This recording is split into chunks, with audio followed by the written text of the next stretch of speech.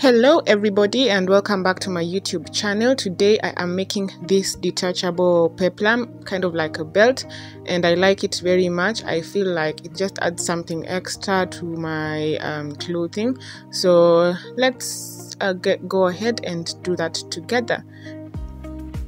So for the thread I'm using this particular one. This color I don't even know. It's closer to teal probably it feels like a mixture of blue green with a bit of gray inside okay so first as usual i start by making a slip knot and then i am going to be chaining 146 um, which should be equivalent to 42 inches so you just chain and uh, until you actually have uh, 42 inches in total for this particular thread that i'm using to achieve 42 inches i did uh, a chain of 146.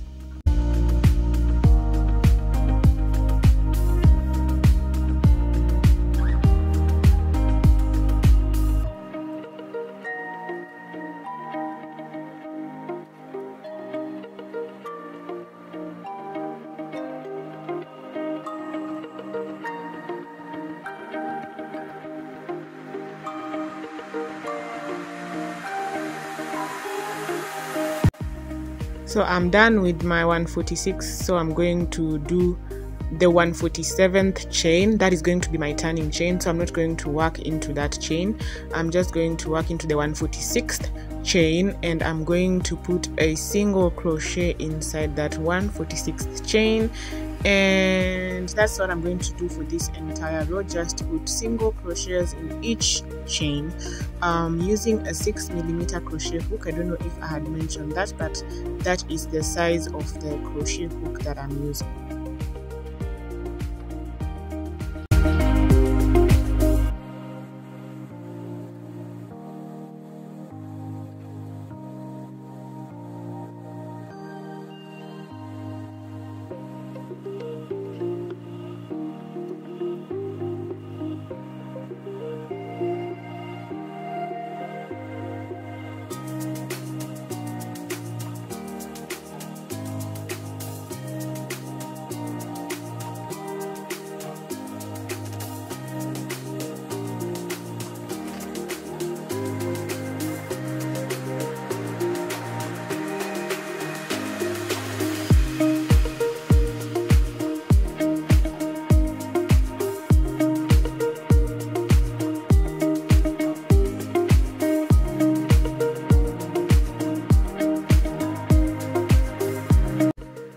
so i'm done with my row of single crochets and that is what i have. So now i'm going to start with row one. The single crochet plus the foundation chain is just both of them form the foundation chain. So for row one i am beginning by chaining three like that. Then once i chain three i'm going to be counting um, three stitches one two and three. Then in that fourth stitch I'm going to be placing a fan. And my fan is going to consist of two double crochets. So that is my first double crochet. And then now I'm doing my second double crochet. Then I'm going to chain one and do two other double crochets.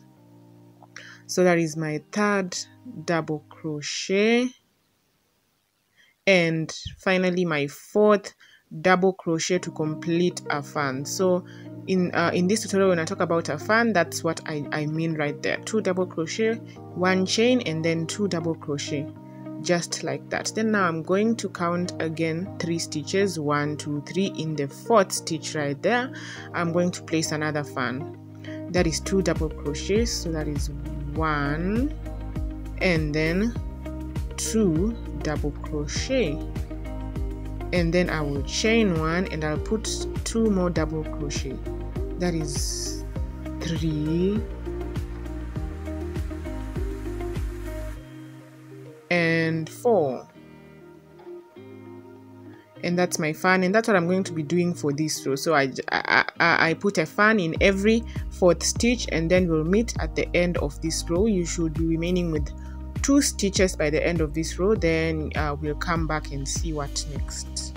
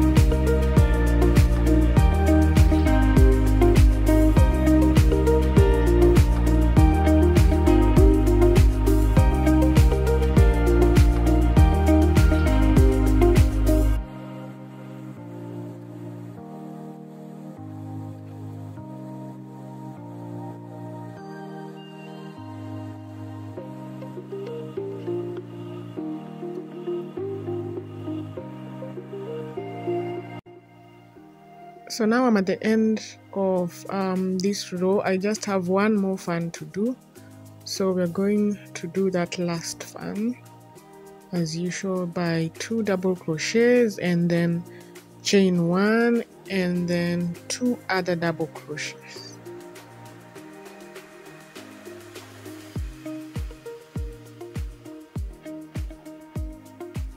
now I am left with two stitches and I'm just going to put a double crochet right there in that last stitch to complete the row. So I want to make sure that I am getting my hook through two um, threads and not one. So that's what I'm trying to do right now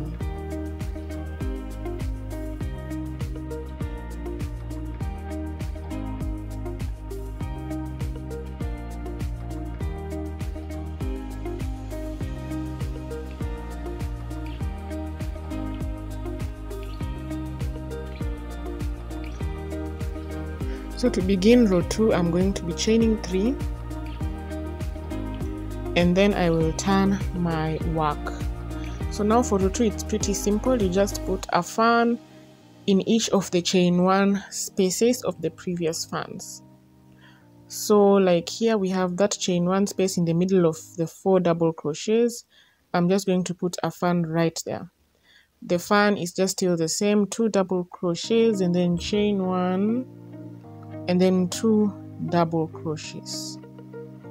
So in each chain one space of the of um, the fans in the previous row i'm going to be placing a fan and i'll continue that way until i reach the end of this row then we'll see what to do next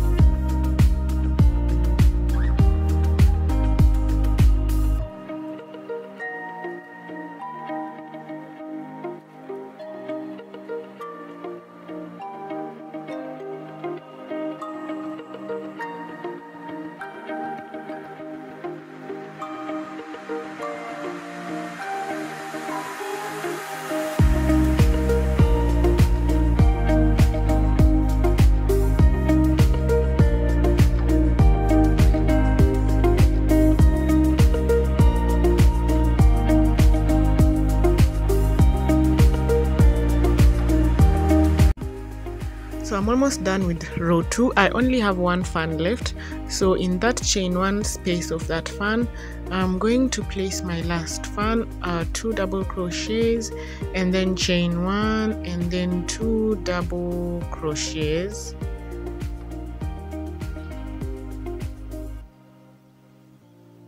Then now in that chain 3 of the previous row in that third chain up there I am going to place a double crochet to complete row 2 and that brings me to the end of the first part of this project.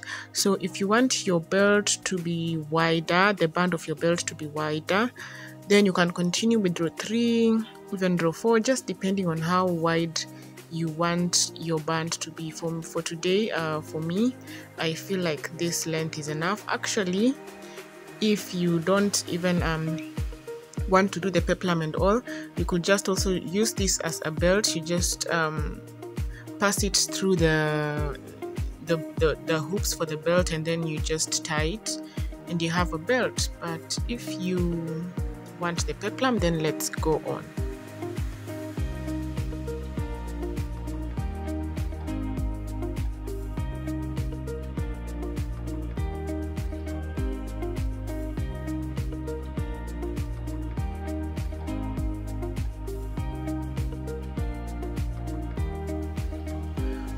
now I am just um, trying to measure this belt on my waist so that I can see up to what point I'm actually going to be putting my peplum. So I've just um, tied it and I want to put my stitch markers at the point where the tie is starting just to estimate and see how many inches do I need to put my peplum and how many inches of this belt is going to be taken up by for or rather for the time yeah?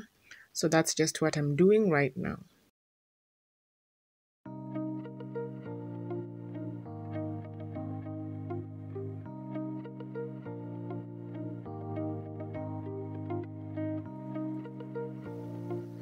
So now from one of those points where I had my stitch markers um, I'm going to begin with the peplum part. So I've just attached my thread right there like that.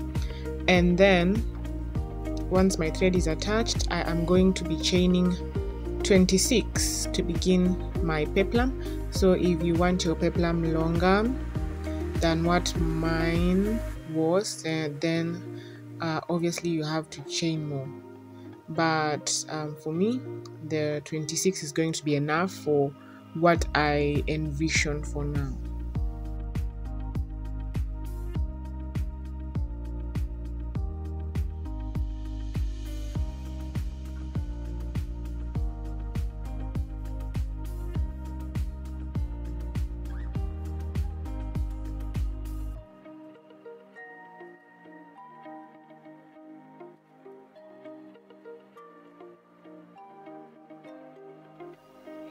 so now i'm going to skip my uh, the first chain and in the second chain i'm going to place one single crochet like that and one double crochet still in that same chain.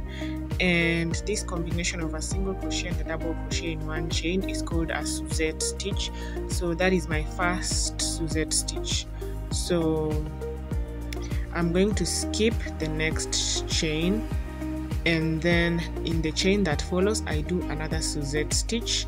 That is one single crochet and one double crochet. So that is my second Suzette stitch. So that is just what I'm going to be doing for this row yeah? I skip one chain and in the next chain I do a Suzette stitch.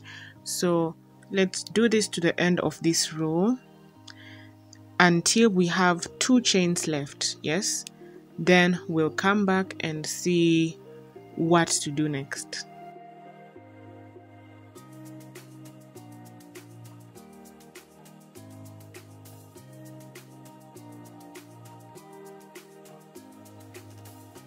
So now I am at the end. I'm left with two stitches so I'm skipping one stitch and in that last stitch I'm going to place a half double crochet to complete this row and this is going to form my row one.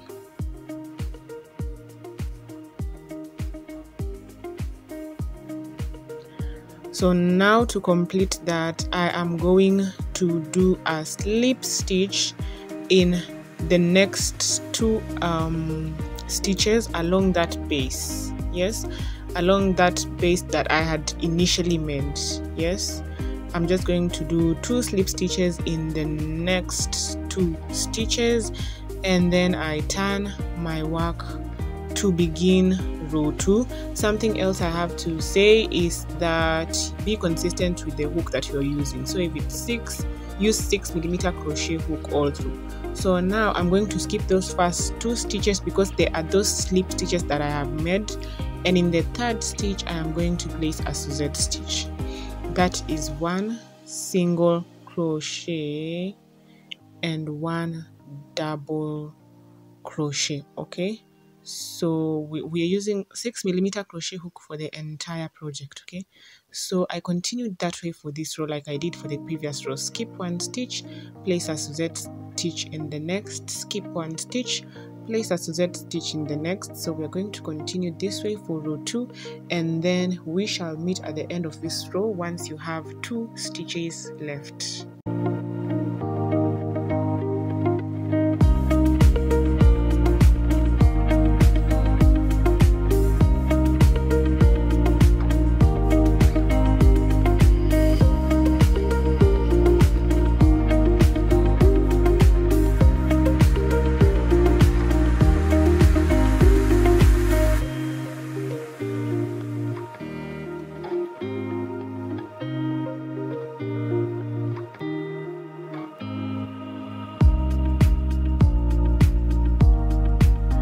now I'm at the end of row 2 I am left with two stitches as you can see. I'm going to skip one stitch and then I'm going to place a half double crochet in the last stitch to complete row 2 this is just basically what we're going to be doing. So to begin the next row I'm going to chain one and then I'm going to turn my work to begin row 3 so for row 3 I am going to start with a Suzette stitch right at the top of that half double crochet.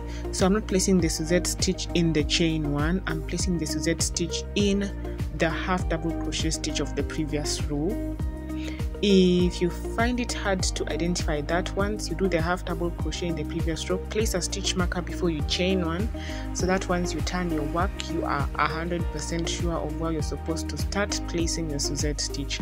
So again this row is just going to be like row 1 and row 2 skip one stitch place a Suzette stitch in the next skip one stitch place a Suzette stitch in the next until we reach the end of this row. And this is what we're just going to be doing. It's basically a repeat of row 2 and row 3 so once I'm done with this um, I'm going to repeat row 2 repeat row 3 all the way until I reach to that point where I had placed my second stitch marker along the base.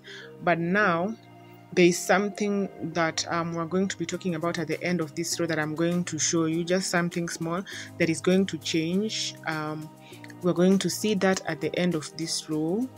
So here we are at the end of the row. I'm left with two stitches. As usual I skipped one. In the last stitch I place a half double crochet. Now this is what is going to be changing from now on to the rest of the rows. Right there at the base of my belt i'm going to place a slip stitch in that row that i have been working in. So i'm not going to place a slip stitch in the next row but in that row that i have been working in that is where i'm going to place my first slip stitch. And then my second slip stitch is now going to be in the next available stitch along the base. Unlike what i did previously where i put my slip stitches in the next two stitches. Here i'm putting one stitch in the row that i'm working in and the next stitch now in the next available row. So that is how you're able to get the peplum effect kind of like the gathered effect okay?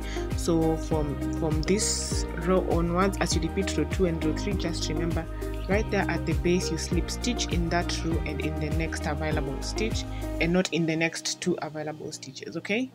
So that's just how we make this peplum i hope that you will get to make yours. If you do then don't forget to send me the pictures. I'll leave the instagram link um, in the description box. You can send me the pictures and tell me that you actually tried to make your own and tell me if you love it. If you like this tutorial don't forget to give it a thumbs up. If there is anything you didn't like then you can tell me in the comment section that I can improve on the next time I am making a tutorial.